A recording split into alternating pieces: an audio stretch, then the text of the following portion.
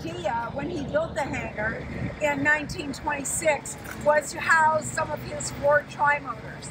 And so our public art project in 2006 brought back the Trimotor, and we've always hoped that Henry Ford didn't mind that we made it a little bit whimsical for all of our sidewalk versions.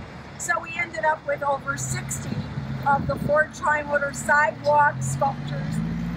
Many of them are still around town today. And so when Sam reached out to us and said that he wanted a very, a, their very own tri-motor for this facility, it just, it really touched me. So 17 years later, we contacted the company in Chicago that did the original tri-motors for us. They still had the mold, and uh, Sam and his team took it from there, and so uh, it's amazing how many calls I've gotten since Friday saying, Mayor Patty, there's a tri-motor that doesn't belong. so um, a couple people actually suggested that it may have been taken from another location. Oh no! But this is Torrence Place's very own tri-motor. Thanks very, very much, John.